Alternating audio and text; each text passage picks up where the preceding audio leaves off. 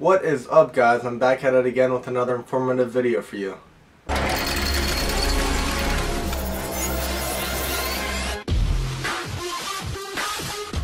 Today I'm going to be giving you guys 5 helpful tips for dieting.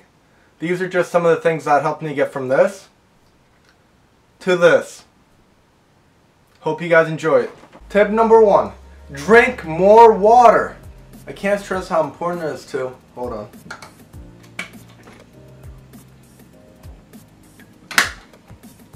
Drink more water. Not only are there health benefits to it, but it can also suppress your hunger by making you feel full. Your goal should be to get around a gallon of fluids a day, preferably water. A helpful tip inside a tip is to drink two glasses of water before every meal. This will help you kind of fill up your body already beforehand so then you don't go crazy with uh, overeating. Tip number two, include more foods that are high in fiber.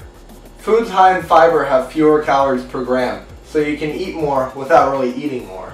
Some foods high in fiber include oatmeal, avocados, berries, almonds, whole wheat bread.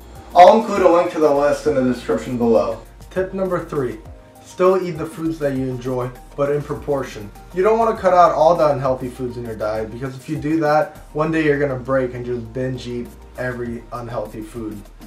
And that's just going to completely ruin your diet. What helped me eat unhealthy foods in proportion is putting them into little Ziploc baggies so then when the time comes and I am craving it, I'll grab it out and just have that Ziploc bag and the temptation kind of goes away from eating the entire bag of chips that you have and stuff. So I recommend doing that. Tip number four, portion out your meals.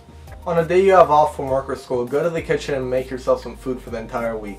This way you'll have a lot easier access to healthier foods and you won't be as inclined to go to get pizza at a fast food restaurant.